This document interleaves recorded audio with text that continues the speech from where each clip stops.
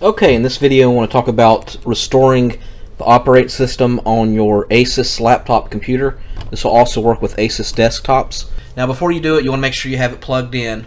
Then this is what we do. We turn on the computer and we tap the F9 key. As soon as you see the Asus logo, you tap F9. And you could actually hold it down as well. And you might hear some beeping when you do it. Um, it might take two or three times to do it before it catches. Alright, so let's go ahead and turn it on and press F9. Alright, see as I see the logo, I tapped F9. Alright, and then you're going to see this screen. It says Windows Boot Manager.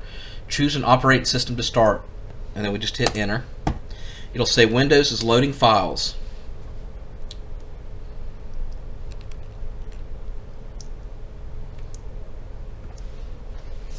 And this usually takes a few seconds. So right here it says preload wizard. We'll click next. The recovery wizard only works with Asus notebooks. It will not work with any other computer systems. Alright, next. Alright, you got three you got three options. Recover Windows to first partition only. Recover Windows to entire hard drive. And recover Windows to entire hard drive with two partitions. Um, I'd recommend to do recover Windows to an entire hard drive. Well, actually, no. I think you want to choose recover Windows to entire hard drive with two partitions. The two, no, no, no.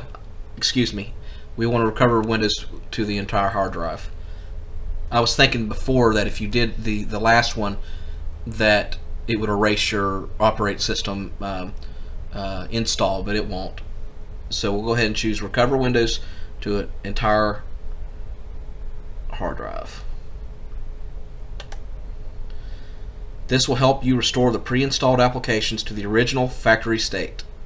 If you can access your hard disk drive, back up all your important files before performing. That's what I discussed before. Next. Are you sure you want to start the reco recovery process now? Click Finish to run the recovery process. Uh, recovery process. So that's what you do. You hit Finish, and um, that will completely that will completely um, reinstall your computer uh, back to factory settings.